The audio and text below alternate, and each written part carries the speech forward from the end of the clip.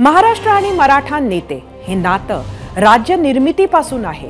राज्यात मराठा समाज तीस टक्क्यांपेक्षा जास्त आहे हे आपण मराठा आरक्षणासंदर्भातील सर्वेक्षणातून पुढे आलेल्या आकड्यांमधून पाहिलंय.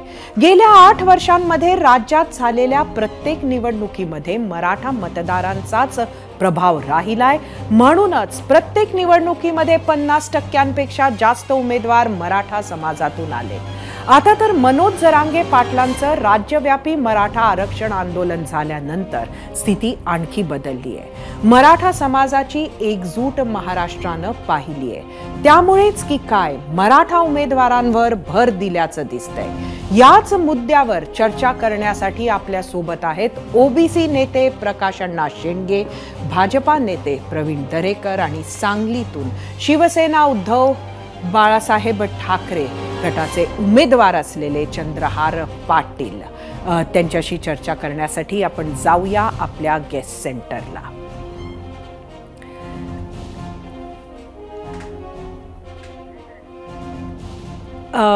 प्रवीणजी मी सर्वात पहिले आपल्याकडे येते आणि आपल्याला आजचा प्रश्न तुम्हाला माहिती आहे आमचा एकंदरीत मराठा समाजाला मोठ्या प्रमाणामध्ये आरक्षण मोठ्या प्रमाणामध्ये उमेदवार महाविकास आघाडीनं दिलेले आहेत. याचा फायदा होताना तुम्हाला दिसतो का? एकाहत्तर टक्केपेक्षा जास्त उमेदवार हे मराठा समाजातून आलेले आहेत.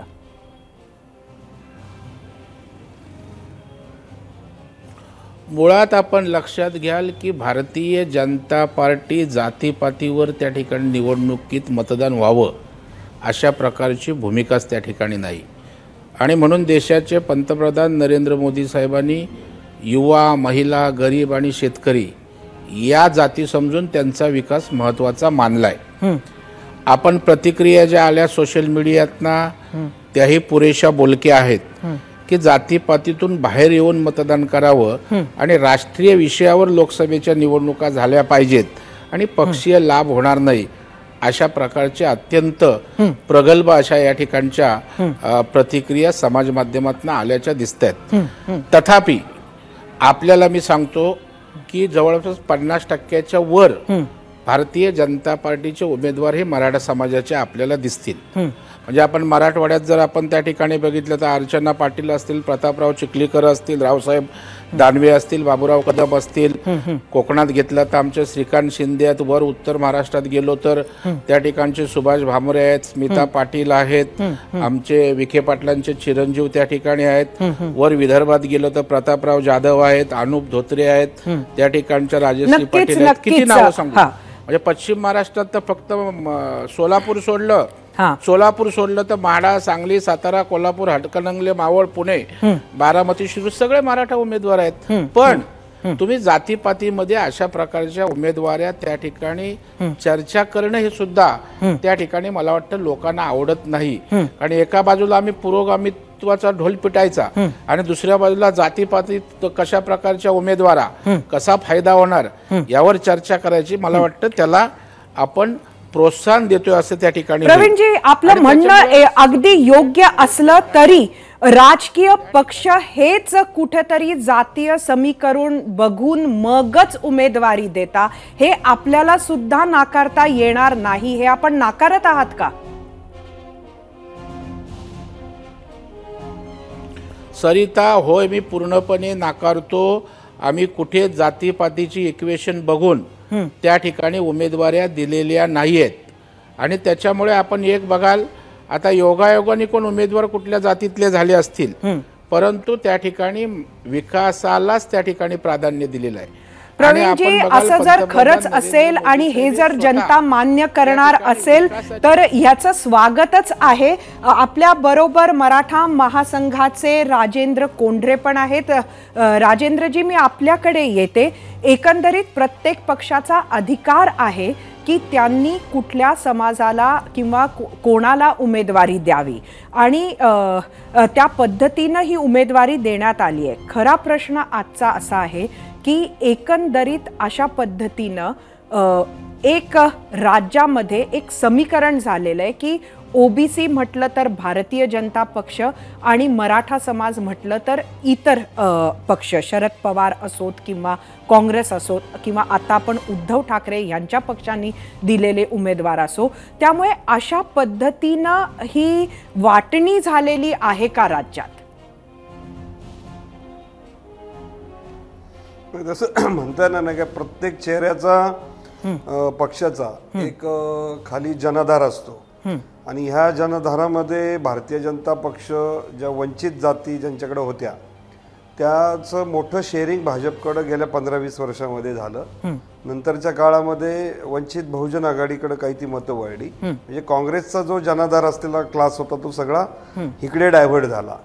दरम्यानच्या काळात मागाशी जे तुम्ही दोन महत्त्वाचे उल्लेख केलेले आहेत त्याच्यामध्ये एक गोष्ट मी या ठिकाणी नमूद करतो की सरसकट जातीचा उमेदवार असं नजरेपूर्ण ठेवून असा उमेदवार कोणताही पक्ष देत नाही फारसं. त्याचं कारण असं आहे की जात हा फॅक्टर शंभर टक्के इलेक्शनमध्ये पूर्णपणे कधीच कामाला येत नाही. अपवादात्मक महाराष्ट्रातले एक दहा बारा मतदार संघ जे जास्त जातीवर मतदान करतात उर्वरित ठिकाणी त्या उमेदवाराचं वैयक्तिक चारित्र्य त्याची संस्थात्मक बांधणी तिथल्या पक्षाचं काम त्याची समाजातली प्रतिमा त्याचं शिक्षण क्षेत्र सहकार क्षेत्रातलं काम ह्या सगळ्या गोष्टी आणि त्यांनी विकासात किती भूमिका बजावलेली आहे लोकसंवाद किती याच्यावर ते तिकीट ठरतं.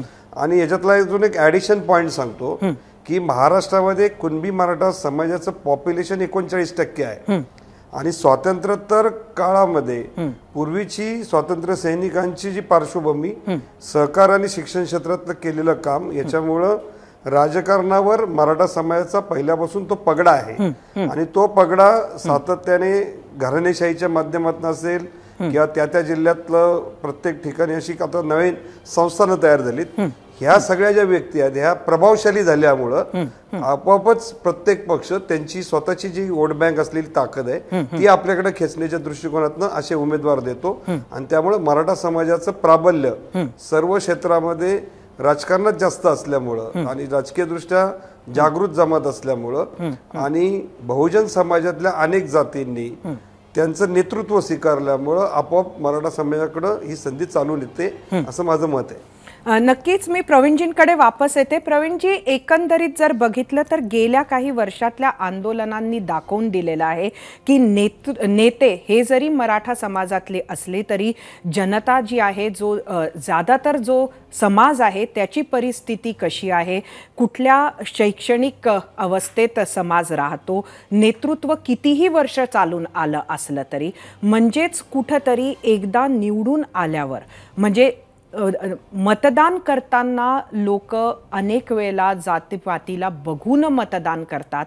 असं जरी असलं तरी निवडून आल्यावर नेता मात्र समाजाकडे तसं लक्ष देत नाही असं म्हटलं पाहिजे का?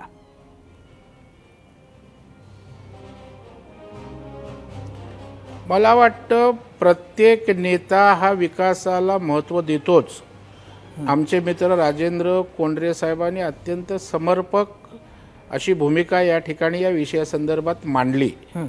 परंतु या ठिकाणी मी आपल्याला सांगितलं की शेवटी नेता आपलं राजकारण करत असताना समाजाचं हित त्या ठिकाणी लक्षात घेतच असतो. असा कुठलाही नेता नाही की निवडून आला की समाजाकडे दुर्लक्ष करतो. तथापि तो समाजाच्या चौकटीत बांधला जात नाही कारण लोकशाहीमध्ये ती अभिप्रेती नाही. या ठिकाणी ज्या वेळेला आपण बोलतो आम्ही सर्व समावेशक आहोत. त्यावेळेला सगळ्या जातीपाती या आपल्या आहेत यामध्ये लोक काय बघतात? समाजासाठी काय केलं? त्या पक्षाने काय केलं? त्या नेत्याने काय केलं? आणि असं जर आपण विचार केलात तर या ठिकाणी राष्ट्रवादी जो शरद पवार साहेबांचा आहे उद्धव ठाकरे साहेब आणि काँग्रेस याच्या मागे मराठा समाजाचा मतदार मतदान करणार नाही. कारण अनेक वर्ष पवार साहेबांनी या महाराष्ट्रावर या ठिकाणी राज्य केलं. मराठा आरक्षण दिलं नाही. उलट पक्षी सांगितलं की कायदेशीर मराठा आरक्षण देता येत नाही. उद्धव ठाकरे जे बाळासाहेबांचे सुपुत्र त्यांनी त्या ठिकाणी आपण बघाल. तर मोका मोर्चा म्हणून संजय राऊतांनी सामनामध्ये त्या ठिकाणी कार्टून काढलं. विलासराव मुख्यमंत्री होते पृथ्वीराज बाबा होते अशोक चव्हाण साहेब होते नंतर समितीचे अध्यक्ष होते. त्यामुळे तिन्ही पक्ष मराठा समाजाला काही देऊ शकले नाहीत. उलट दिलं कुणी? नारायण राणे साहेब ज्या वेळेला त्या समितीचे अध्यक्ष होते भले कोर्टात टिकला नाही प्रामाणिक प्रयत्न केला. खरं आरक्षण दिलं देवेंद्र फडणवीस साहेबांनी दिलं. ज्यांच्यावर तुम्ही जातीपातीचं लेबल लावता त्यांनी मराठा समाजाला आरक्षण दिलं कोर्टात टिकणारं दिलं आणि सुप्रीम कोर्टात नाकारलं नव्हतं. उद्धव ठाकरेंच्या नाकारते मनामुळे दुर्लक्षामुळे ते आरक्षण गेलं होतं. आणि त्याच्यामुळे आपण बघाल की देणारी लोक कोण आहेत? मी तर एवढंही म्हणेन की मनोहर जोशी ज्या वेळेला राज्याचे मुख्यमंत्री होते तेव्हा अण्णासाहेब आर्थिक विकास महामंडळ त्या ठिकाणी निर्माण झालं. आणि त्यावेळेला मनोहर जोशीने केलं. कुठे आली जातपात ब्राह्मण आहे म्हणून मनोहर जोशीने अण्णासाहेब आर्थिक विकास महामंडळ केलं का? त्याच्यामुळे मला वाटतं की जातीपातीत जर आपण म्हणायचं म्हटलं तर मराठा समाजाला प्रामाणिक न्याय द्यायचा. आता शिंदे साहेब आमचे आले. त्यांनी तर शपथ घेऊन छत्रपतींच्या पद आपल्याकडे ते प्रवीणजींनी म्हटलं की मराठा समाज आता राष्ट्रवादी काँग्रेस शरदचंद्र पवार असो म्हणजे महाआघाडीला मतदान करणार नाही. खरं तर जास्त समाजातील उमेदवार त्यांनी दिलेले आहेत. अशी परिस्थिती आपल्याला दिसते का? महाविकास आघाडीने सरिता असं काय केलं? दोन भाग आहे. जसं मी मगाशी सांगितलं की मतदान करताना एका पार्टवर केलं जातं. तसं महाराष्ट्रामध्ये राजकीय आणि सामाजिक विचारसरणीमध्ये जो पुरोगामी विचाराकडे वळलेला जो वर्ग आहे हा साधारणतः काँग्रेस आणि शरद पवार यांच्या बाजूला दिसतो. आणि उर्वरित मध्यमवर्गीय आणि हे सगळी मंडळी ही आता आत्ताचे जे सरकार आहे त्याच्या बाजूने दिसते. चित्र असं आहे की आता जे काही मराठवाड्यामध्ये मोठ्या मोठ्या सभा झालेल्या आहेत ह्या मोठ्या सभांमध्ये आपण त्याचा राजकीय कानोसा घेत असताना एक गोष्ट त्याच्यात मी पुन्हा महाराष्ट्रापुढे आणतोय. की बेरोजगारीची प्रचंड धग ही मराठवाड्यामध्ये आहे. आणि मराठवाड्यामध्ये वैचारिक याला जबाबदार कोणाला धरल्या जाऊ शकतं? आर्थिक सुधारणा ही जी धग आहे ज्याबद्दल आपण बोलत आहात ती नक्कीच आहे खूप मोठी आहे आणि त्यातूनच हा असंतोष आपण गेला एक वर्ष जे बघतो आहे आंदोलन ते त्यातूनच निर्माण झालेलं आहे. पण हे कोणाला तुम्ही त्यासाठी जबाबदार धरता? बघा एकतर लोकसंख्या प्रचंड आहे आणि औद्योगिकरण आणि शिक्षणाचं जे काही प्रमाणीकरण ज्या भागामध्ये जास्त होण्याची अपेक्षा होती ती मराठवाड्यामध्ये झालेली नाही. हे. वास्तव तुम्हाला मान्य करावं लागेल आणि त्याला आतापर्यंत गेल्या पन्नास साठ वर्षामध्ये ज्यांनी ज्यांनी मराठवाड्याचं नेतृत्व केलं त्या माणसांनी त्या भागामध्ये भौगोलिक विकासाच्या दृष्टिकोनातनं पायाभूत सुविधा शैक्षणिक सुविधा त्यानंतर कारखाने हे आणण्यामध्ये कुठंतरी ते नेतृत्व कमी पडलं असं दिसतंय. आणि त्यामुळं मराठवाड्यातलं मोठ्या प्रमाणावरचं जे काही नागरीकरण आहे ते पूर्णपणे पश्चिम महाराष्ट्रामध्ये पुणे ठाणे नाशिक आणि हैदराबाद अशा ठिकाणी ते जाऊन राहिलेलं आहे. तर हा चिंतनाचा विषय आहे आणि हे चिंतनाच्या विषयाचा मागोवा घेताना मराठा समाजाला याचा मोठा फटका का बसलेला आहे? तर शेतीमधलं धारण क्षेत्र कमी झालं आणि शेतीवर जगण्याची व्यवस्था बिकट झाल्यामुळं उग्र झालेली प्रश्नांमधनं जी आता तरुणाई आहे तिच्या हाताला रोजगार नाही ती रोजगार त्याला जर त्यामध्ये द्यायचा असेल राजेंद्रजी नक्कीच आपण जो मुद्दा मांडताय तो अत्यंत महत्त्वाचा आहे आणि हीच विजन हेच नियोजन आपण आपल्या नेत्यांकडनं ह्याची अपेक्षा करत असतो. आपल्या बरोबर प्रकाशांना शेंडगे आलेले आहेत. प्रकाशजी एकंदरीत आता चर्चा चर्चेत आपण जेव्हा नव्हतात तेव्हा आम्ही बोलत होतो की महाविकास आघाडीनं जवळजवळ जी काही घोषित उमेदवार आहेत त्यात एकाहत्तर टक्क्याच्या वरची उमेदवार हे मराठा समाजामधनं येतात. गेल्या काही काळात मराठा समाजाचा रोष त्यांची जी संख्या आहे हे सगळं लक्षात घेता या निवडणुकीमध्ये याचा फायदा महाविकास आघाडीला होऊ शकतो का? तुम्हाला काय वाटतं?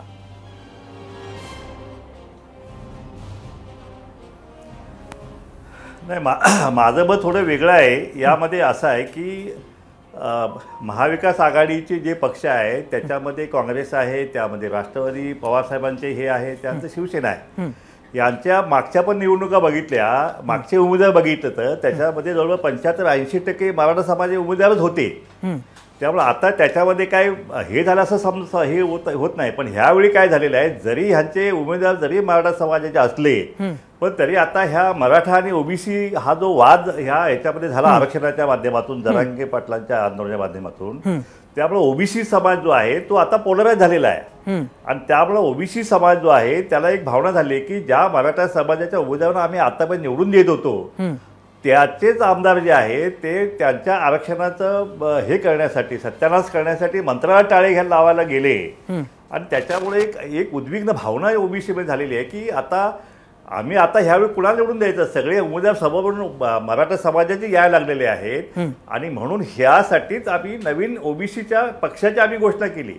किंवा त्यावेळी हे ओबीसीचं मतदान जे आहे ते आता कुणाला टाकायचं? मग जर मराठाला द्यायचं नसेल मग ओबीसीला द्यायचं असेल तर मग ओबीसीला देण्यासाठी ओबीसीचा आम्ही नवीन पक्ष काढलेला आहे. आणि त्याची आमची सुरुवात आहे. आणि साठ टक्के आमचं हे आहे. प्रवीणजी मतदान आहे. प्रकाश गेल्या अण्णांच्या सहा ह्या महिन्यामध्ये जे वक्तव्यावर आपण काय म्हणाल? ओबीसी मतदार हा पोलराइज झालेला आहे. नाही मला त्यांच्या अपेक्षांबद्दल त्यांच्या आत्मविश्वासाबद्दल त्यांना माझा सॅल्यूट आहे की ओबीसी सगळे मतदान त्यांना करणार आहेत आणि देशामध्ये पंधरा वीस खासदार त्या ठिकाणी जातील. त्यांना शुभेच्छा आहेत त्यांच्या आत्मविश्वासाला.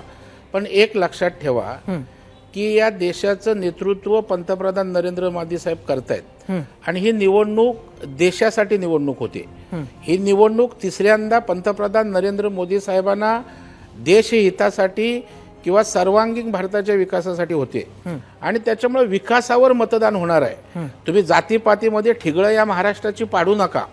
आणि ओबीसी समाज आहे मराठा समाज आहे हा विकासावर त्या ठिकाणी तर पक्ष समाजाचेच पक्ष निघाले असते ना. मराठा समाजाचा मराठा पक्ष ओबीसीचा ओबीसी पक्ष आमक्याचा आमचा आमका पक्ष. वाटतं महाराष्ट्र प्रगल्भ आहे सुसंस्कृत आहे इतर राज्य आणि महाराष्ट्रात जमीन आसमानचा फरक आहे. राजेंद्रजी, तर आपण काय म्हणाल? जातीपातीवर त्या ठिकाणी मतं आपण प्रकाश अण्णांनी जे म्हटलं ते सुद्धा ऐकलं आणि आता प्रवीणजी जे म्हणतात ते सुद्धा आपण ऐकत आहात. सत्य परिस्थिती जमिनीवरची काय आहे? की ज्यांना जातीचं ज्यांना जातीवर आधारित राजकारणामध्ये स्पेस तयार करायची असतात ते नेहमी आपल्या समाजाला एक मोठा शत्रू दाखवण्याचा प्रयत्न करतात. आणि प्रकाशांना शेंडगेंनी जो काही आता पक्ष काढलाय तर ते जे व्यासपीठावर गेली चार पाच महिने भाषणं करत होते ते सगळे नेते वेगवेगळ्या पक्षामध्ये विखुरले गेलेले आहेत हे लक्षात घेतलं पाहिजे. आणि मी मगाशी आपल्याला सुरुवातीला सांगितलं की शंभर टक्के जातीवर मतदान मतदान करणारे एक राज्यामध्ये ठराविक भाग जर सोडले तर उर्वरित महाराष्ट्रामध्ये अशी परिस्थिती नाहीये कारण गावगाड्यामध्ये सगळ्या बहुजन समाजाला बरोबर घेऊन जाणारे मराठा नेते पण होते ओबीसी समाजातले पण होते आणि बहुजन समाजातले होते. आणि त्या त्या काळामध्ये त्यांचं नेतृत्व त्या त्या भागातल्या मराठ्यांनी पण स्वीकारलेलं आहे. त्यामुळं हा मुद्दा ह्यावेळेस राजकीय दृष्ट्या मराठा समाजाचा परिणाम कर- करण्याची शक्यता एका गोष्टीवर आहे की ओबीसी नेत्यांनी जी काही आगलावी भाषणं केली इकडनं जी भाषणं झाली त्याच्यामध्ये समाजामध्ये टोकदार अस्मिता ह्या काही काळापर्यंत आपल्याला दिसून येत होत्या. आता पुढच्या राजकारणामध्ये जर हे जातीच्या पोलरायझेशनवर जर नेण्याचा प्रयत्न झाला तर महाराष्ट्रातल्या एक सहा ते सात मतदारसंघामध्ये ह्याचा परिणाम होईल असं मला या ठिकाणी वाटतं. आणि तो विशेषतः मराठवाड्यामध्ये सोलापूर जिल्ह्यामध्ये हा होण्याची शक्यता आहे. पण अजून त्याला वेळ आहे कारण शेवट हे राजकीय लोक फार परिपक्व आणि तयार असतात. ते मुवमेंट कशी करायची आणि कोणत्या पातळीवर नेऊन सोडायची ह्याचं अंडरस्टँडिंग त्यांचं फार चांगलं असतं. अ, प्रकाश अण्णा मी आपल्याला विचारते जसं राजेंद्रजींनी म्हटलं की सहा ते सात मतदारसंघांवर याचा परिणाम होऊ शकतो. तुमच्या मते किती मतदारसंघांवर याचा परिणाम होऊ शकतो? एक साधारणतः आठ आठ जिल्हे आठ आठ ते नऊ मतदारसंघ आहेत की जिथे कास्ट फॅक्टर हा मोठ्या प्रमाणावर चालतो आणि दोन समाजामध्ये काही असं वातावरण तयार झालेलं आहे स्थानिक पातळीवर त्याचा इम्पॅक्ट होण्याची शक्यता आहे आणि त्याच्यामध्ये नेमकं मराठा समाजाचं मतदान हे आज कोणत्या बाजूला जाईल ह्याचं चित्र आज स्पष्ट नाहीये त्यामुळं आज जी काही भाषणं. चालू आहे त्याच्यामध्ये. राजकीय नेत्यांनी मराठा नक्कीच नक्कीच आपण काम प्रकाश सांगावं अण्णांना लागेल. काय म्हणायचंय ते ऐकून घेऊया करणार नाही नाही कसं आहे आता कोंढरे साहेब जे म्हणाले की आता हे ओबीसीचा नवीन पक्ष आम्हाला पंच्याहत्तर वर्ष आम्ही काढलाच नाही ना. तुम्ही जे उमेदवार देईल त्या उमेदवाराला आम्ही निवडून दिलं ना तर मग मराठा बघितलं नाही किंवा बाकी काय बघितलं नाही. आणि हे आत्ताच पक्ष काढायची ओबीसीचा का गरज भासली? तर ज्यावेळी दिवसा ढवळ्या आमच्या मुलाबाळांचं भविष्य उद्ध्वस्त होताना त्या आरक्षणाचे लचके तोडताना ज्यावेळी ओबीसीने पाहिलं आणि शासन प्रशासन संपूर्ण रात्री बेरात्री दोन दोन तीन तीन वाजता जी आर काढून ह्या ओबीसीच्या आरक्षणामध्ये कुणब्यांचे दाखले घेऊन मराठा समाजाला घुसवण्याचा जो काय प्रयत्न झाला त्याच्यामुळं ओबीसी सगळा उद्विग्न झाला की इतके वर्ष आम्ही आम्ही किती. मतदारसंघात याचा परिणाम होईल प्रकाशांना? आपल्याला वेळेची मर्यादा आहे. किती मतदारसंघात? हे- हे महाराष्ट्रामध्ये महाराष्ट्रामध्ये जवळपास प्रत्येक मतदारसंघामध्ये सिक्स्टी पर्सेंटच्या पेक्षा जास्त हा ओबीसी आहे. आणि त्याच्यामध्ये Dalit S C S T आणि मुस्लिम समाज जर हे केलं तर त्याच्यामध्ये ही संख्या खूप मोठी आहे. त्यामुळे आठ नऊ मतदारसंघ जवळपास अठ्ठेचाळीसशे अठ्ठेचाळीस मतदारसंघामध्ये ओबीसीचं वर्चस्व आहे.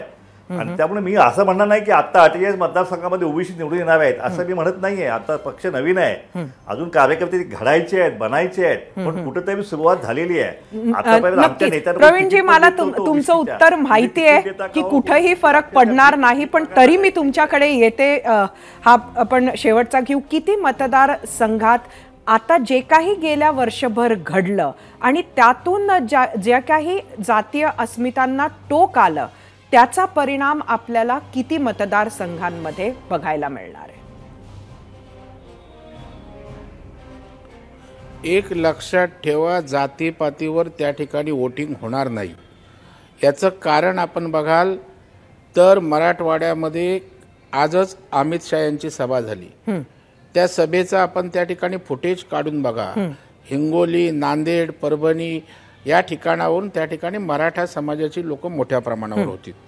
आपण बघाल ज्या वेळेला परभणीला देवेंद्रजी एकनाथ शिंदे अजितदादांची सभा झाली त्यावेळेलाही मराठा समाज ते धनगर समाजाचे असून रासपचे असून त्या ठिकाणी उपस्थित होता.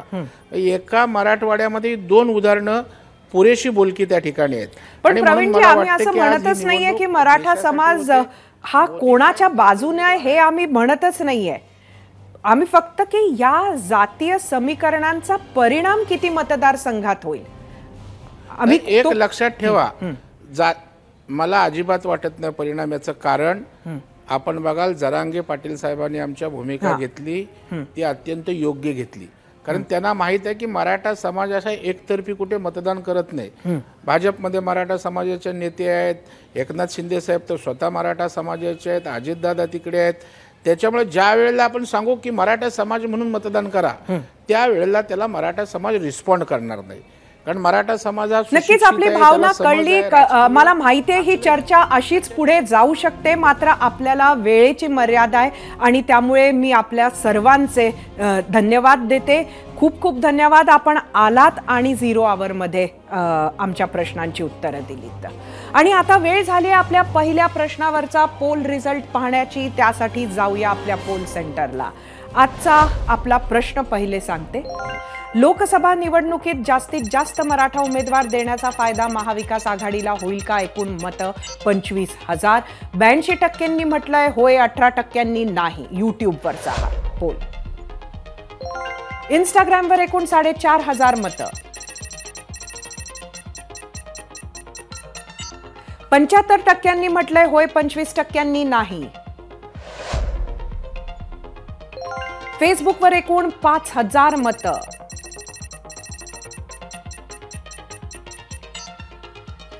त्रेसष्ट टक्क्यांनी होय म्हटलंय सदोतीस टक्क्यांनी नाही. आता बघूया एक्सचा कौल.